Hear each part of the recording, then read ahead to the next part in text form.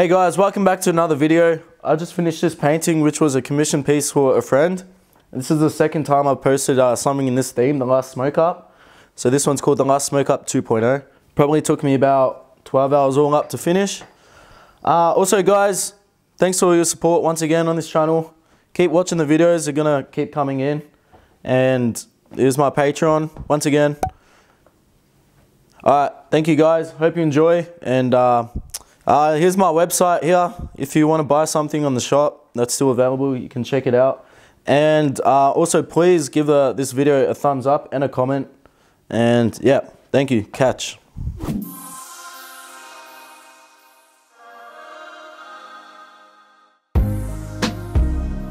Hey guys, welcome back to another episode of Jay's Time Lapse Speed Art. I'm gonna get straight into the topic because we don't have a lot of time in this episode. So, it reads Am I the asshole for giving away my daughter's dog? Straight off the bat, yes, you're an asshole.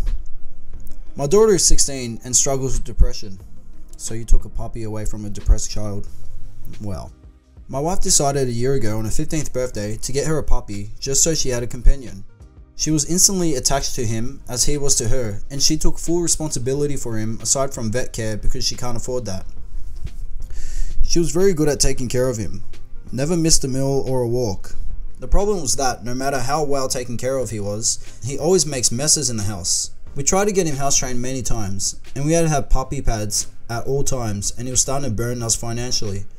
So two weeks ago, I told my daughter that since nothing is working, I think he needs to be with a family who can keep up with his high maintenance.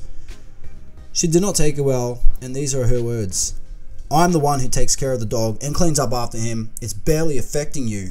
Well, the daughter speaks straight facts. Just saying. I told her that is because of how many additional things we have to get just to make sure his messes are smaller.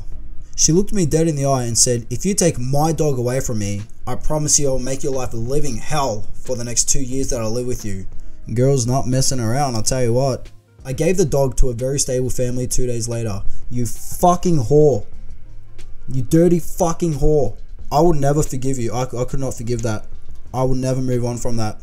You cold, heartless fucking whore. Anyway, my daughter has been avoiding us and has only spoken to us to make snarky comments. If I come down to her room to talk to her, she looks around and says, Hmm, what are you going to take from me next? Or, How do you want to ruin my life now? Girl's got sass. I like it. It's exhausting to deal with. She'll come upstairs and start crying and saying that now she's all alone and has nobody, and she accuses us of not loving her. One thing she said before we gave the dog away is, if you give my dog away, I'll know where I stand with you because if you truly cared about me and my well being, you wouldn't put me in a position where my mental state plummeted. She now holds us to that and often says, Why are you asking if I'm doing fine? You don't give a fuck about me and you're only asking me to make yourself look good. And, you don't love me, you caused me to have a depressive episode, etc. I really feel awful about the situation and I feel like I made the wrong decision in giving her dog away because now my kid has not expressed a hint of positive emotion unless she's on call with her friends or a boyfriend. Am I the asshole? So you actually typed all that out and still had to ask other people if you're an asshole or not? Mind blown. Simply blown. Yes, you're a fucking asshole. She was literally taking responsibility for it that dog was not only a friend, it was also an emotional support animal. Um, many people need the company, and a dog is a perfect animal to do just that. Of course, the puppy's gonna make a mess. It's a puppy.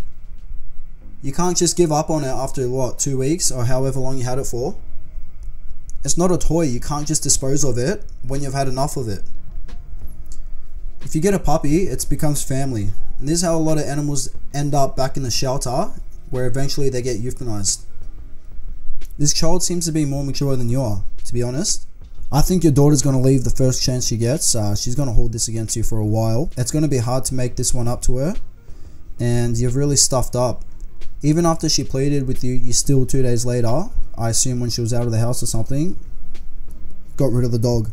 That's just not on. My mum always threatens to take away my cat, but I just laugh in her face because I know she'll never have the heart to do it. But you actually did it? Wow. Wowzers.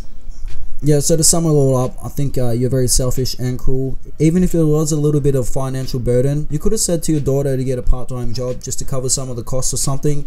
You don't have to take away her puppy, her companion, especially when she's going through a tough time in her life. So, my final verdict you are the asshole. Case dismissed. Alright, guys, I'll see you guys next time. Thanks for sticking around and have a great day. Goodbye.